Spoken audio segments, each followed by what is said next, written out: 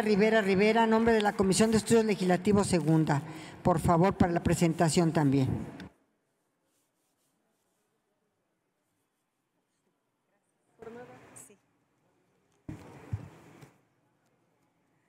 Con permiso de la mesa, honorable asamblea, no estamos aceptando las cosas que no podemos cambiar.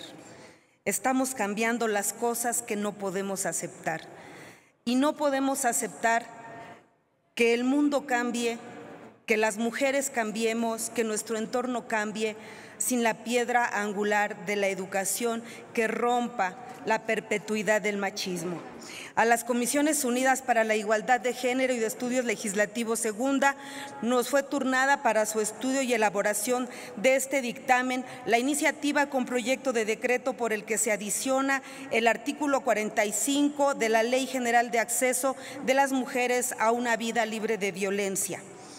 Este proyecto tiene por objeto fomentar e incluir la educación con perspectiva de género como eje transversal de todos los planes y programas de estudio, considerándolos como mecanismos de prevención, integración y desarrollo social. Quienes dictaminamos coincidimos en cuanto a la viabilidad de la propuesta, ya que compartimos la postura de la promovente en cuanto a que el Estado tiene el inexcusable deber, perdón, inexcusable deber de adoptar todas las medidas legislativas necesarias para contribuir al fomento de un cambio cultural, estructural que cambie el alarmante fenómeno de la violencia de género en el país y la profunda descomposición social que le es inherente.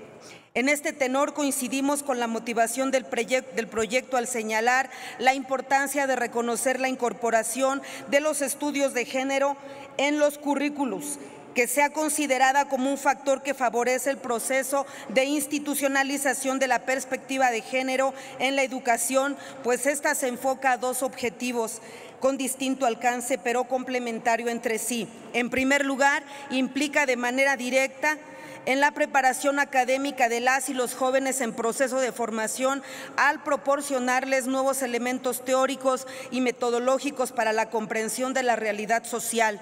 Y por otro la importancia de la discusión académica de los temas de perspectiva de género que aporta a la formación de las y los jóvenes universitarios elementos para la desconstrucción de las diversas formas de discriminación imperantes en nuestra sociedad y les permite transmitir valores de equidad y respeto a las diferencias.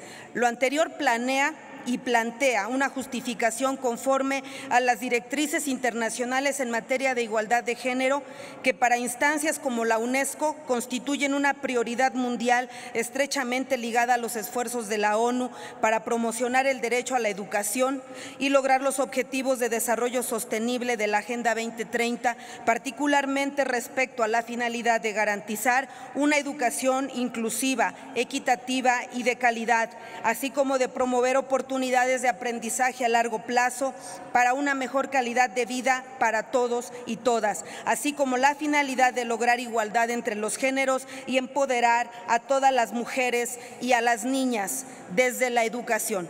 Es cuanto, Presidenta. Muchas gracias. Muchas gracias, Ana Lilia.